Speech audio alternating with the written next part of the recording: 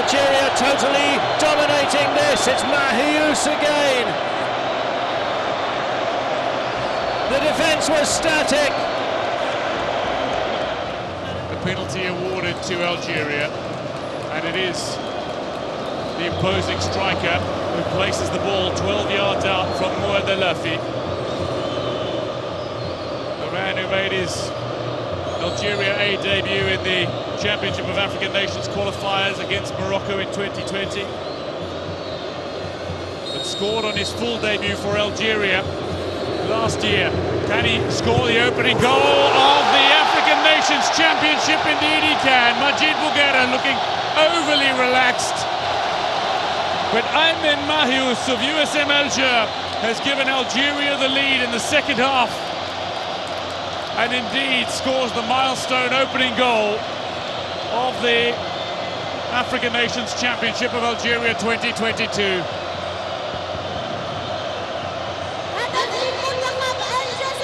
An incident that we'll look back on. Hughes is very dangerous, dangerous player and very, very intelligent. Looking at where he was before he saw the back pass and he was able to steal the ball from the goalkeeper and he resolved the penalty. Look at how confident he is.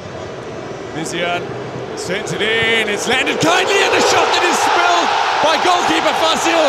And Aymen Mahious has not only given Algeria the lead, he becomes the CHAN team's all-time leading scorer. He passes the great Hillel Soudani with his sixth goal for the A team, but his oh so important goal. He then scored the winner against Ethiopia. Stands over the ball in added time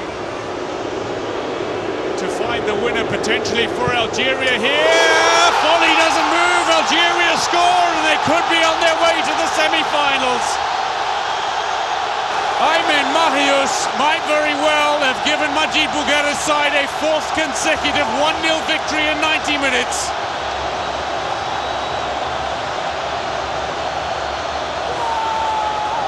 Cote d'Ivoire look crushed. Spaces behind the Niger defense.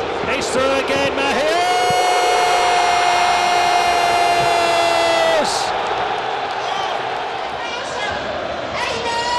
Well, like I was just saying, they tried to draw Niger wide and expose them with the ball behind their defense. As you can see there, they spread them wide, put the ball behind them, and one-two from Mahious there. What a good finish there! What a great strike there!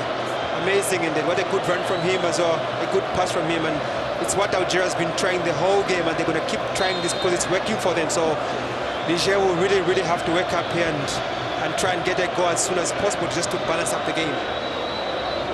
They shouldn't be allowed to get in behind the back line, so it looks good, and it's a third goal.